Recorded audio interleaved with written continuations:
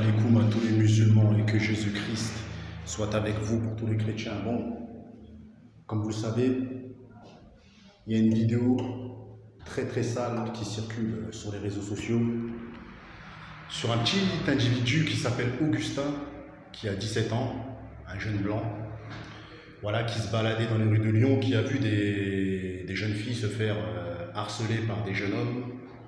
Donc voilà, et qui a voulu prendre la défense de ces jeunes filles. Il a retenu les jeunes hommes pour que les jeunes filles puissent rentrer chez elles. Vous voyez ce que je veux dire? Pour que les jeunes filles puissent rentrer chez elles. Et malheureusement, il a été roué de coups, euh, fracture de la mâchoire, deux dents qui est tombé. Donc voilà, donc euh, là, il est en, je pense qu'il est en soins intensifs suite à cette agression qui est très très grave. D'ailleurs, l'extrême droite publie des articles en disant que c'était cinq personnes colorées. Bon, on a compris. Donc ça devait être des rebeux ou des noirs. Donc voilà. L'extrême droite est à fond sur euh, les réseaux sociaux en traitant ces jeunes de racailles. Donc moi, personnellement, je pense que les actes de ces jeunes hommes sont l'image que les médias euh, vont interpréter en tant que racailles. Pourquoi? Parce que tout simplement, qu'on le veuille ou non, qu'on le veuille ou non, ces jeunes hommes se comportent comme des racailles. Ce que je veux dire, ils se comportent comme des racailles. Ils font, euh, ils font exactement ce que les médias ne veulent pas qu'ils fassent.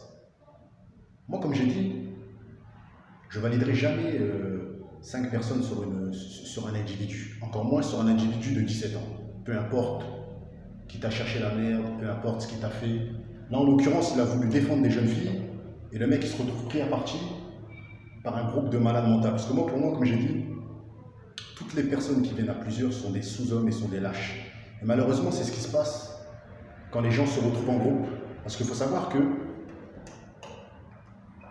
beaucoup de gens ont des problèmes avec des personnes. Et ensuite, désolé pour la lumière, elle s'éteint, elle s'allume, elle s'éteint, je suis dans un hall. beaucoup de gens ont des problèmes et n'arrivent pas à régler leurs problèmes et font appel à leur, euh, à leur entourage. Moi, j'appelle ça des tapettes et des lâches. Tu peux venir de banlieue, tu peux être noir, rebeu, si tu viens à 15 sur un mec, pour moi, t'es une, une schmetta, t'es une... Vas-y, je veux même pas commencer à insulter, mais t'es une merde pour moi. Je veux dire ou quoi Jamais Guadazero va valider 51. Même si la banlieue valide, je fais pas partie de ces gens-là. Ne mélangez même pas ces gens-là. Même si tu as grandi dans un quartier, pour moi, si tu acceptes ça, c'est que tu es un lâche et que tu sais pas te battre. Tu es une pédale et tôt tard, Donc voilà, grosse force à Augustin. Je pense qu'il va s'en remettre. Hein. Je pense que les Renault et les Rebeux, il ne faut pas avoir honte de défendre un mec qui vient pas forcément de notre communauté. Il faut le faire, il faut le faire.